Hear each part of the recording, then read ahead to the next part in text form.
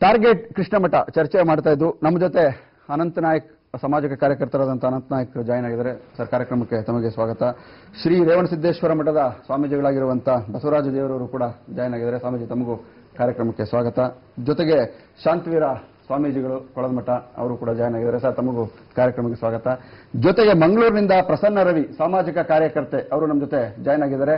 Madam, ತಮಗೂ ಕಾರ್ಯಕ್ರಮಕ್ಕೆ ಸ್ವಾಗತ. ಮೊದಲು ಪ್ರಸನ್ನ ರವಿ ಅವ್ರನ್ನ ಕೇಳ್ತೀನಿ.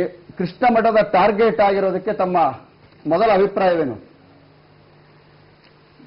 ಕೃಷ್ಣ ಮಠದ ಟಾರ್ಗೆಟ್ ಕಾರ್ಯಕ್ರಮ ಹೇಳುವಾಗ, ಈಗ ಮಠ ಅಂತ ಹೇಳುವಾಗ ಅದೊಂದು ಖಾಸಗಿ.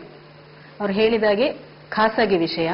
ನನ್ನ ಕುಟುಂಬದಲ್ಲಿ, ನನ್ನ ಮನೆಯಲ್ಲಿ ಯಾರನ್ನಾದರೂ ಅತಿಥಿಗಳನ್ನು ಕರೆದು ಡೈನಿಂಗ್ ಟೇಬಲ್ ಅಲ್ಲಿ ಕಿಚನ್ ಅಲ್ಲಿ ಕೂತ್ಕೊಳ್ಳಿಸುವುದು ನನಗೆ ಸಂಬಂಧಪಟ್ಟದ್ದು. ಹೊರಗಿನವರು ಅದು ತಲೆ ಹಾಕುವ ಅವಶ್ಯಕತೆ ಇಲ್ಲ. ಯಾಕೆಂದ್ರೆ ಬುದ್ಧಿಜೀವಿಗಳಿಗೆ ಇತ್ತೀಚಿನ ಕಾಲದಲ್ಲಿ ಕೆಲವು ಸಮಾನತೆ ಅಂತ ಹೋರಾಟ ಮಾಡ್ತಾ ಇದರಲ್ಲಿ ಅದರಲ್ಲಿ ಒಂದು ಭಾಗ ಇದು ನಾಟಕ ಇಲ್ಲಿ. ದಕ್ಷಿಣ ಕನ್ನಡ ಜಿಲ್ಲೆಯಲ್ಲಿ ಆಗ್ಲಿ, ಉಡುಪಿ ಜಿಲ್ಲೆಯಾಗ್ಲಿ ಆಗ್ಲಿ ಈ ರೀತಿ ಗೊಂದಲ ಎಲ್ಲೂ ಕಾಣ್ತಾ ಇಲ್ಲ. ನಾವು ಮಂಗಳೂರು, ದಕ್ಷಿಣ ಕನ್ನಡ ಜಿಲ್ಲೆಯಲ್ಲಿ ಇದ್ದವಳಾಗಿ ಹೇಳ್ತಿದ್ದೇನೆ, ಇಂಥ ಗೊಂದಲ ಇಲ್ಲ. ಆದ್ರೆ ದೇವರನ್ನು ನಂಬದವರು, ಹಿಂದೂ ಧರ್ಮವನ್ನು ನಂಬದವರು, ಯಾವುದೇ ಆಚರಣೆಯನ್ನು ಮಾಡದವರು, ದೇವರ ಬಗ್ಗೆ ಕಾಳಜಿ ವಹಿಸುವುದು ಕೇವಲ ಊಟಕ್ಕಾಗಿ ಒತ್ತಡ ಹೇರುವುದು ಹೇಳುವಾಗ ನಮಗೆ ಅಸಹ್ಯ ಆಗ್ತಾ ಉಂಟು. ಯಾಕೆಂದ್ರೆ ಪೇಜಾವರ ಶ್ರೀಗಳು ಬಾಲ್ಯದ ಎಂಟು ವರ್ಷದಿಂದಲೇ ಅವರು ಸನ್ಯಾಸ ಪಡ್ಕೊಂಡು ಬಂದು, ಈಗ ಎಂಬತ್ತೆಂಟು ಆಯಿತು. ಅವರಿಗೆ ಈ ರೀತಿ ಅವರ ಒಂದು ವಿಷಯ, ಹೆಸರು ಹಾಳು ಮಾಡುವುದು ನಮಗೆ ಅದು ಇಷ್ಟ ಅನ್ನಿಸುವುದಿಲ್ಲ. ಯಾಕೆಂದ್ರೆ ನಮ್ಮ ಬುದ್ಧಿಜೀವಿಗಳು ಬೇಕಾದಷ್ಟು ಸ್ವಾಮೀಜಿಗಳನ್ನು ಹಲವು ರೀತಿಯಲ್ಲಿ ಅವರ ವ್ಯಕ್ತಿತ್ವ ಹಾಳು ಮಾಡಲಿಕ್ಕೆ ಹೊರಟಿದ್ದಾರೆ. ಅವರೆಲ್ಲ ಸ್ವಲ್ಪ ಎಳೆ ವಯಸ್ಸಿನವರು. ಹಣದ ವಿಷಯದಲ್ಲಿ ಹುಡುಗಿಯರ ವಿಷಯದಲ್ಲಿ ಜಾಗದ ವಿಷಯದಲ್ಲಿ ಏನೇನು ವಿಷಯದಲ್ಲಿ ವ್ಯಕ್ತಿತ್ವ ಹಾಳು ಮಾಡ್ಕೊಳ್ಳಿಕ್ಕೆ ಹೊರಟಿದ್ರು. ಆದ್ರೆ ಪೇಜಾವರ ಸ್ವಾಮೀಜಿಗಳ ತೇಜೋವಧೆ ಮಾಡಲಿಕ್ಕೆ ಯಾವುದೇ ಕಾರಣದಿಂದ ಆಗ್ತಾ ಇಲ್ಲ. ಹಾಗಾಗಿ ಇದೊಂದು ಈ ಪಂಕ್ತಿ ಭೇದ ಅಂತ ಒಂದು ಹೆಸರಿಟ್ಟು ಈ ರೀತಿ ಮಾಡ್ತಿದ್ದಾರೆ. ಹಾಗಾಗಿ ನಾನಂತ ಇದನ್ನು ಖಂಡಿಸ್ತೇನೆ. ಬರ್ತೀನಿ ನಾನು. ಬರ್ತೀನಿ ಪ್ರಸನ್ನ ಶಾಂತಿ ಸ್ವಾಮೀಜಿಗಳು ಮೊದಲು ತಮ್ಮ ಅಂದ್ರೆ ಕೃಷ್ಣ ಮಠ ಉಡುಪಿಯ ಕೃಷ್ಣ ಮಠ ಅದು ಸಾರ್ವಜನಿಕವೋ ಖಾಸಗಿಯೋ? ಈಗಾಗಲೇ ಪ್ರಸನ್ನ ರವಿಯವರು ಹೇಳಿದ್ರು ಅದೊಂದು ಖಾಸಗಿಯಾದಂಥ ಮಠ. ಸೊ ಅಲ್ಲಿ ಇಂಥದ್ದೊಂದು ಏನ್ ಬೇಕಾದ್ರೂ ಮಾಡಬಹುದು ಅನ್ನೋ ರೀತಿಯಲ್ಲಿ ಅವ್ರು ಮಾತನಾಡಿದ್ರು. ಅದು ಖಾಸಗಿಯಾದ ಮಠವ ಅಥವಾ ಸಾರ್ವಜನಿಕರ ಪ್ರವೇಶದ ಮಠವ? ಮಠ ಅಂದರೆ ಮಠ ಆಗಿರಲಿ ಮಸೀದಿ ಆಗಿರಲಿ ಚರ್ಚ್ ಆಗಿರಲಿ ಇವು ಖಾಸಗಿ ಆಗೋದಿಲ್ಲ ಖಾಸಗಿ ಆಗೋದಿಲ್ಲ. ಸಾರ್ವಜನಿಕ ಸಂಬಂಧಪಟ್ಟಿದ್ದು. ಅದು ರಾಷ್ಟ್ರಕ್ಕೆ ಸಂಬಂಧಪಟ್ಟಂಥ ರಾಷ್ಟ್ರ ಸ್ವತ್ತು ಎಲ್ಲರಿಗೂ ಸಂಬಂಧಪಟ್ಟಂಥ ಸ್ವತ್ತು. ಮಠ ಅಂದರೆ ಆ ರೀತಿಯಾಗಿ ಮಠದಲ್ಲಿ ಒಂದು ಸಂಪ್ರದಾಯಗಳಿರ್ಬೋದು. ಮಸೀದಿಯಲ್ಲಿ ಒಂದು ಸಂಪ್ರದಾಯ ಇರ್ಬೋದು.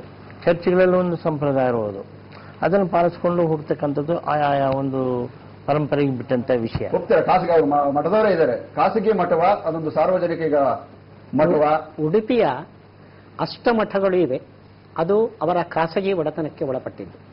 ಆದರೆ ಕೃಷ್ಣ ಮಠ ಏನಿದೆಯೋ ಈ ಎಂಟು ಮಠಗಳ ಆಡಳಿತಕ್ಕೆ ಒಳಪಟ್ಟು ಖಾಸಗಿಯೂ ಆದ ಒಂದು ಸಂಸ್ಥೆ. ಯಾಕೆಂದ್ರೆ ಅದರ ಉಪಜೀವನ, ಸಾರ್ವಜನಿಕರ ಆಗಮನ, ಅವರ ಸಹಕಾರದಿಂದ ನಡೀತಾ ಇರೋದ್ರಿಂದ ಅದು ಖಾಸಗಿ ಅನ್ನೋದರಲ್ಲಿ ಎರಡು ಮಾತು ಇಲ್ಲ. ಆದರೆ ಒಂದಂಶವನ್ನು ನಾವಿಲ್ಲಿ ಗಮನಿಸಬೇಕು. ಅದರ ಆಡಳಿತವನ್ನು ಮಾಡುವವರಿಗೆ ಅದ್- ಆಡಳಿತ ಒಂದು ಮಠಕ್ಕೆ ಸೇರಿದ್ದಲ್ಲ ಅದು. ವರ್ಷ ವರ್ಷ ಎರಡು ಎರಡೆರಡು ವರ್ಷ ಕೃಷ್ಣ ಕೃಷ್ಣ ದೇವಸ್ಥಾನಕ್ಕೆ ಸೇರಿದ್ದು ಅದು. ಕೃಷ್ಣ ದೇವಸ್ಥಾನ ಅಂತ ಅನ್ನೋದ್ರ ಬಗ್ಗೆ ವಿವಾದ ಇದೆ ನಾವು ಅದರ ಬಗ್ಗೆ ಮಾತಾಡಬಾರ್ದು. ಮಠ ಅಂದ್ರೆ ಹಾ, ಕೃಷ್ಣ ಕೃಷ್ಣ ಮಠಕ್ಕೆ ಆದ್ರಿಂದ- ದೇವಸ್ಥಾನಕ್ಕೆ ಕೃಷ್ಣ ಮಠ ಅಂತ ಹೇಳ್ತಾರೆ ನಾವು ತಿಳ್ಕೊಂಡದ್ದು. ಹಾ, ಹಾಗೆ. ತಪ್ಪಿದ್ದಿರ್ಬೋದು ಹೌದು. ಆದ್ರೆ ಅದು ಕೊಳದ ಮಠದ ಗುರುಗಳು ಬಹಳ ನಮ್ಮ ಪ್ರಾಚೀನ